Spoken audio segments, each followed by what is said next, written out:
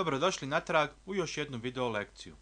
U ovoj lekciji ćemo vidjeti kako možemo numerisati naše liste. Napravit ćemo dvije vrste listi, to liste sa tačkama i liste sa brojevima. Započnemo tako što ćemo pokrenuti naš dokument. Započnemo tako što ćemo pokrenuti naš dokument klikajući dva puta mišem. Kao što vidimo dolazi do otvaranja našeg programa, ali i dokumenta. Koristeći točkić na našem mišu spustit ćemo se na dno strance i kao što vidimo ovdje se nalazi naša lista. Ukoliko vaš miš nema točkić, onda možete kliknuti mišem na klizač i kretati se po stranci. Kao što vidimo, ovdje se nalaze dvije liste. Ove liste mi ćemo numerisati. Numeraciju ćemo napraviti pomoću tački, ali i brojeva. Da bismo mogli numerisati našu listu, potrebno je istu i selektirati. Kliknimo mišem na kraj naše liste i ne ispuštajući miš krećemo se prema vrhu. Kao što vidimo, izvršili smo selekciju. Ukoliko nismo, klikom miša aktivirajmo tab Home i pronađemo grupu komandi pod nazivom Paragraf. U ovoj grupi nalazi se komanda pod nazivom Bullets ili tačke.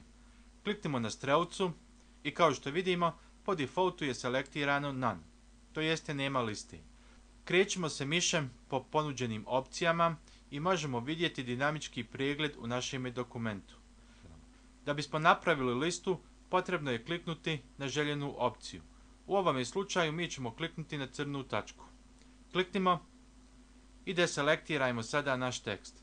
Kao što vidimo, naša lista je dobila tačke.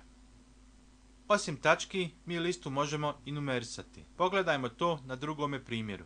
Selektirajmo našu listu kao što smo do sad naučili i u grupi paragraf ponađemo komandu pod nazivom numbering.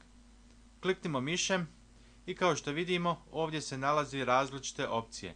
Naša lista može imati jednostavne brojeve kao što je 1, 2, 3 sa tačkom, sa zagradom, možemo imati velika slova, mala slova ili pak rimske brojeve. Kao što vidimo svaki put kad prijeđemo po komandi pojavljuje se dinamički pregled u našem dokumentu. Klikom miša selektirajmo brojeve 1, 2 i 3, a zatim deselektirajmo tako što ćemo kliknuti mišem u dokument. Kao što vidimo, uspješno smo napravili listu sa brojevima. Ukoliko želimo da poništimo listu, onda je moramo selektirati i možemo primijetiti da je po automatizmu selektirana naša komanda. Kliknimo na strelcu, a zatim kliknimo na opciju None. I kao što vidimo, uspješno smo poništili našu listu.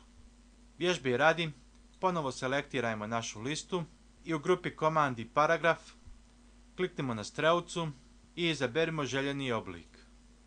Deselektirajmo i ponovo imamo našu listu.